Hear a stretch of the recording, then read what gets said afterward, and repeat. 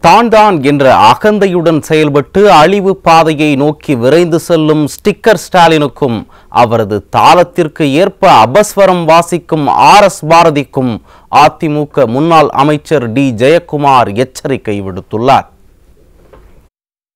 இது குறித்து அவர் வெளியிட்டுள்ள அறிக்கையில் சட்டம் ஒழுங்கு சீர்குலைவு என்றால் என்ன என்று ஆர் எஸ் பாரதி முதலில் திமுகவின் தலைமைக்கு பாடம் எடுக்க வலியுறுத்தியுள்ளார். மேலும் எதுகை மோனையில் பேசுவதும் போகாத ஊருக்கு வழி சொல்வதையுமே தொழிலாக கொண்டு செயல்படுவதே நாற்பத்தி இரண்டு மாத கால திமுக ஆட்சியாளர்களின் வாடிக்கையாகிவிட்டது என விமர்சித்தார்.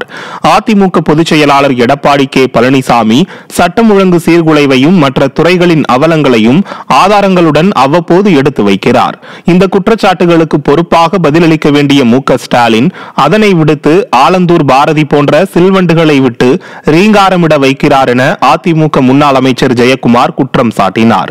மேலும் எந்த ஒரு குற்றச்சாட்டுக்கும் நேரடியாக பதில் சொல்லாமல் வெத்தலை இருக்கிறதா என்று கேட்டால் பித்தளை இருக்கிறது என்று கூறுவது போல் பிரச்சனைகளை திசை திருப்பும் வகையில் சம்பந்தமில்லாமல் உளறி கொட்டி வருகிறார் என குற்றம் சாட்டியுள்ளார். எந்த கொலை குற்ற செயல் நடந்தாலும் அது தனிப்பட்ட பகை காரணமாக நடந்தது என்று விடியா திமுக ஆட்சியாளர்கள் சப்பை கட்டு கட்டுவது மக்களை கொதிப்படைய செய்துள்ளது எனவும் அதிகரித்து வரும் கொடுங்குற்ற செயல்களுக்கு தமிழகத்தில் போதைப்பொருள் கடத்தல் மற்றும் விற்பனையே மூல காரணமாகும் என முன்னாள் அமைச்சர் ஜெயக்குமார் குற்றம் சாட்டியுள்ளார். வாய்ச்சவடால் பாரதிக்கு இது சட்டம் ஒழுங்கு சீர்குலைவு என்பது தெரியாதா என கேள்வி எழுப்பினார். சென்னை உயர்நீதிமன்றம் கள்ளக்குறிச்சி கள்ளச்சாராய மரணங்கள் குறித்து விசாரணை செய்வதற்காக சிபிஐக்கு உத்தரவு பிறப்பித்துள்ளதையும் அதிமுக பொதுச் செயலாளர் மீது நெடுஞ்சாலைத்துறை பற்றிய பொய் வழக்கு மாற்றம் பற்றியும் எந்தவித புரிதலும் இல்லாமல் குறிப்பிட்டுள்ளதாக விமர்சித்துள்ளார்.